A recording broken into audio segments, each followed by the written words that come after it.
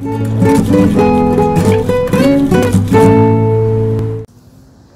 there, Miss Jenny here from the Southwest location, bringing you another uh, CRCC Learning at Home Together video. Today we are going to do some spray bottle art. Um, we're going to let our creativity flow, and I'm doing this outside because it could get a little messy.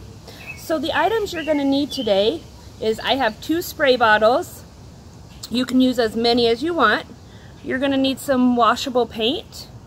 I've got the colors red and orange. You are to need a piece of paper to do your art on. And since we're outside and it can be a little windy out here, I just got a brick from the side of my house and I'm to set it down and have it hold my paper so the wind doesn't blow it away. Ask your mom and dad to help you if it's something heavy. So with our spray bottle art today, there, there's some steps you're going to want to take. And so what we're going to do is I have my spray bottle filled up with some water. I'm going to open it up. And I'm going to put some of the washable paint in there. You're just going to give it a few few drops of, of paint in there. And then you're going to put the lid back on. Make sure it's really nice and tight. And you're going to give it a little shake. See what you have there is you have orange water now. So then we're going to do it with the red. Now I'm going to put a little less red in this one and we're going to see what happens. What do you think is going to happen if I put a little less paint in this one? Is the color going to be more or less?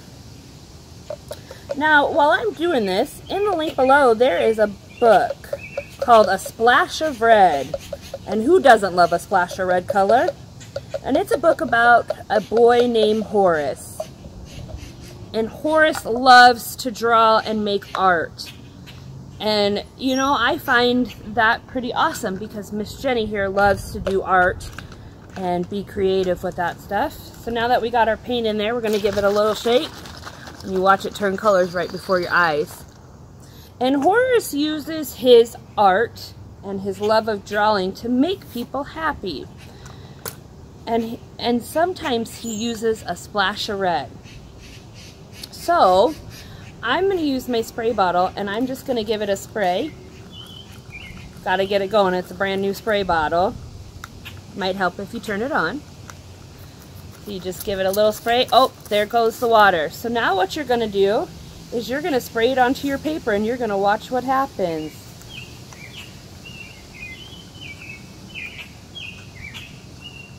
Good job. Oh, I see my colors on there. I think it's time for a splash of red. This one's not as misty. So this one has a stream instead. Uh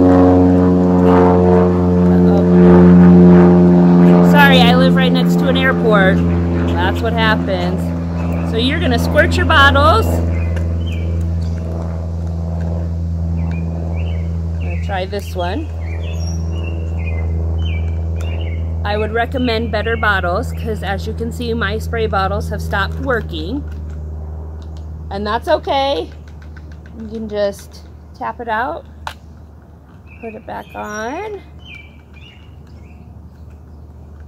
and try again now some spray bottles aren't going to work that's okay you can you can use this any way you want to so I'm gonna take it out I'm just gonna tap some water on there and see what happens.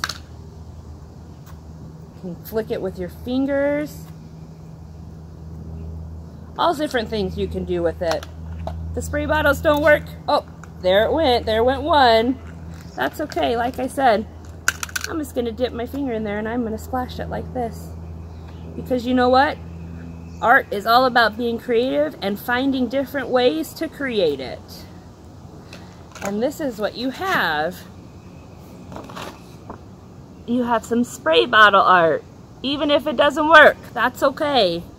And now you're gonna let this dry and you can do many different things with this. I like to cut mine up into shapes and hang them on our window so people can see them outside when they're walking by.